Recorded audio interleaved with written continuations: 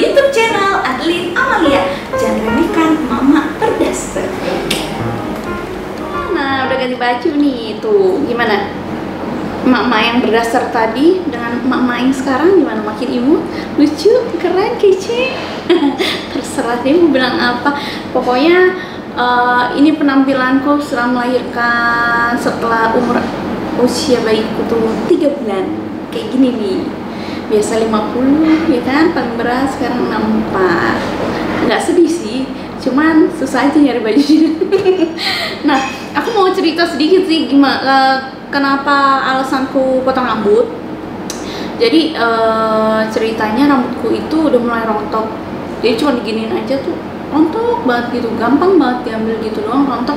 Sampai aku mikir uh, apa namanya potong rambut aja kali ya. Cuman kan banyak yang bilang ya kalau potong rambut itu kalau uh, mukanya cabi ada tambah cabi ya kan tambah bulat gitu kan. Terus habis itu uh, makanya sih aku tapi aku untungnya orangnya nggak apa namanya nggak kepikiran sih. Karena kan kalau potong rambut habis itu bisa cepat panjang lagi kan. Dan aku juga nggak apa namanya kalau misalkan soal potong rambut atau apa bisa diakali dengan nyatok rambut. Nah cuman yang aku kadang masih suka mikir uh, ini mitos atau fakta? Kalau uh, bayi itu udah main ludah berarti sebentar lagi ibunya bakal rambutnya rontok.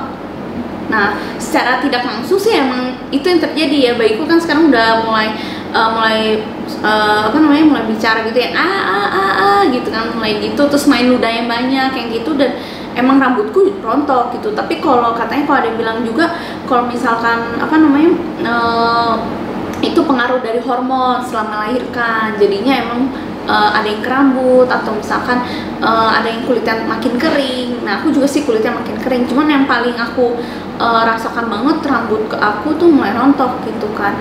Karena rambut nggak baik-baik amat ya kan? Aduh sedih banget kan kalau rontok gitu. Jadi aku akhirnya memutuskan untuk potong rambut gitu. Nah aku akhirnya di aku nanya-nanya sih ke kakakku kayak gitu. Kan banyak cewek uh, seringnya takutnya ah gue mau potong rambut di sini aja deh karena gue udah biasa potong rambut di sini gitu kan. Nah kalau aku tipenya mau pindah-pindah potong rambut sih aku nggak pernah masalah ya. Sampai akhirnya misalkan gitu ya potong rambutnya kurang bagus atau salah gitu sih aku nggak pernah takut. Karena aku emang pada dasarnya uh, doyan nyatok. Jadi kan kalau udah nyatok curly gitu nggak kelihatan kan kalau salah potong rambut.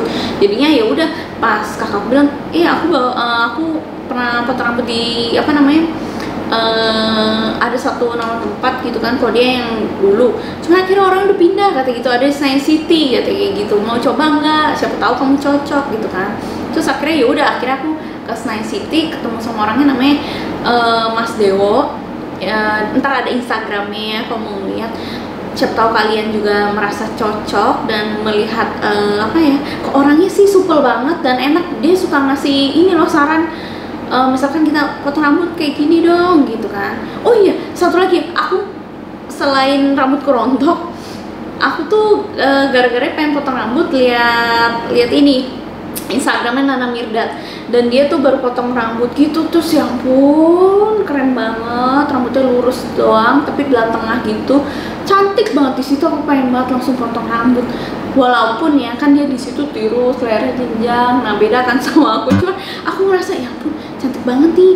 Uh, aku namanya bisa potong rambut kayak gini. Dan aku mantapkan hati untuk potong rambut kayak dia. Jadi pas ketemu mas ntar lihat ya pas ketemu mas dulunya aku mau kayak gini dong gitu kan. Sebenarnya kayak Nana Mirdad. Dan satu lagi rambut pendek kayak lagi zaman deh. Kalau kalian tahu tuh rambut uh, pendek yang segini terus belah tengah atau dilurusin doang itu kayak lagi zaman banget deh buat cewek-cewek kekinian sih jadi mama boleh dong ya tetap ngikutin uh, zaman deh kan zaman now. Nah jadi akhirnya aku uh, ditemenin kakakku potong rambut. Di namanya salonnya dia pindah di The Glam Science City itu lantai 4 nah di situ. Jadi entar kalian bisa bisa ikuti video aku karena itu nanti dibantuin kakakku yang ngerekam. Jadi selain itu aku juga uh, apa namanya di situ ntar aku ya harganya kalau nggak salah tuh uh, potong rambut sama Mas Dewo itu 380 Nah, tapi itu udah sama blow, udah semuanya kok 380 belum tipsnya sih nah itu pokoknya harga segitu mungkin masih siapa tahu masih uh, cocok sama budget kalian ya nah akhirnya aku potong rambut deh jadi abis ini kalian lihat videonya tapi jangan lupa ya di like, subscribe, abis itu diklik ya tanda loncengnya dan jangan lupa di komen. Cocok nggak ya? Aku rambutnya pendek, apa bagusan aku rambutnya panjang?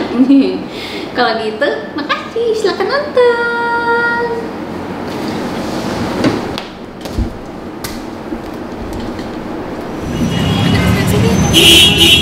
Finally, sampai juga nih di Senayan City setelah hampir berapa, Oi? Dua jam? Dua jam ya? Katanya sejam kok di map, soalnya ternyata dua jam. Nih udah sampai Senayan City. Sekarang kita mau nyari salonnya dulu. Namanya salonnya apa? The Glam. The Glam. See you.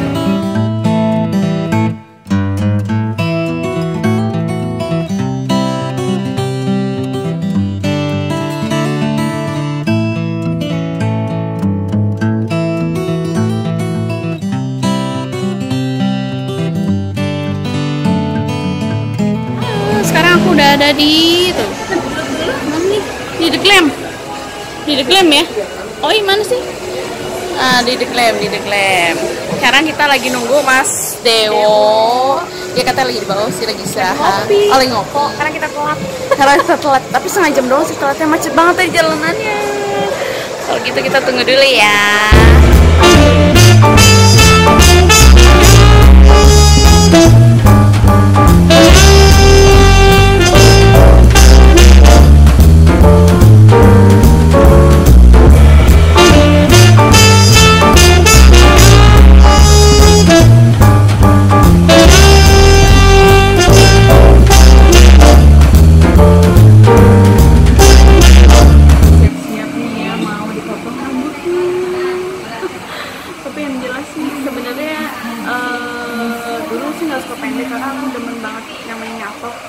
aku banget curly tapi hari ini kenapa aku mau pendek supaya lebih fresh dan ngurus anaknya lebih gampang nah bersama dengan Mas Dewo kata kakakku Mas Dewo itu kalau nggak salah eh, juara apa ya Oh, apa sih itu mau boleh cerita sedikit Indonesia ya ya. dekat. Indonesia itu seluruh Indonesia gitu maksudnya Iya, seluruh Indonesia. Wow, modern banget ya. Jadi ada barber, ada salon, Ah.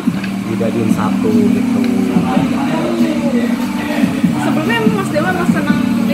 Ya lomba-lomba kayak gini. Sebenarnya eh, suka suka, tapi apa namanya baru kemarin aja kesampaian. Iya. Karena customer-nya baik banget. Alhamdulillah, alhamdulillah. Aku aja juga direkomendasi sama kakak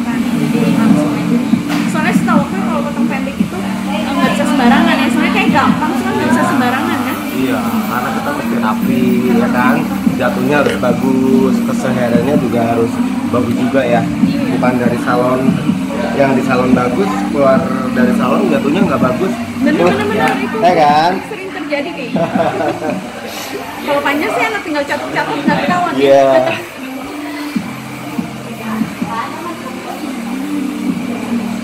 Sekarang kita bikin yang cantik ya. Kita mulai.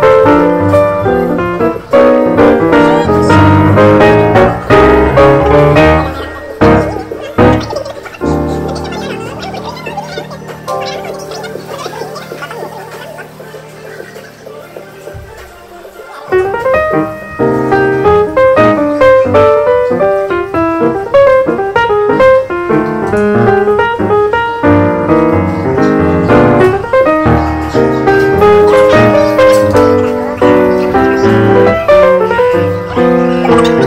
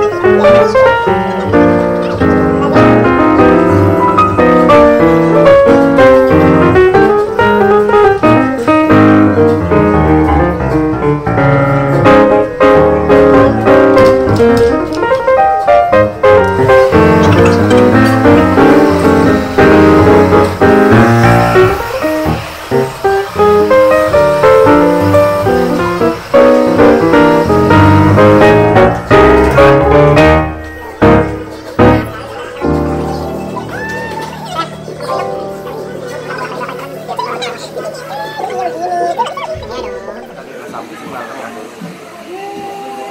semoga suka suka dong ya? pastinya iya. kalau ya? iya, tadi kan pas yang dilurusin aja bagus ya jadi iya, ya lebih lebih lebih lebih yang gimana ya lebih ya, ini terpendek tuh kayaknya oh iya?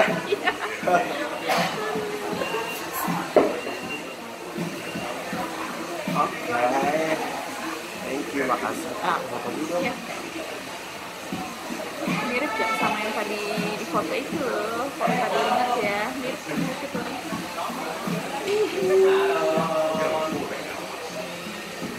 Rambut pendek. Iya, siapa takut? Foto ya.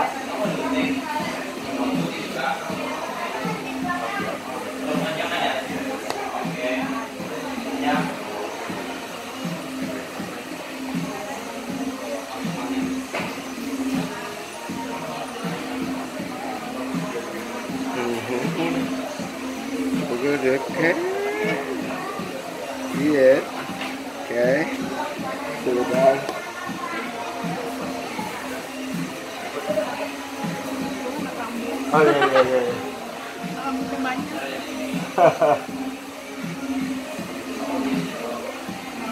oh si pecah ya kamu model iya dong ya. jangan sama semua jangan jangan gitu.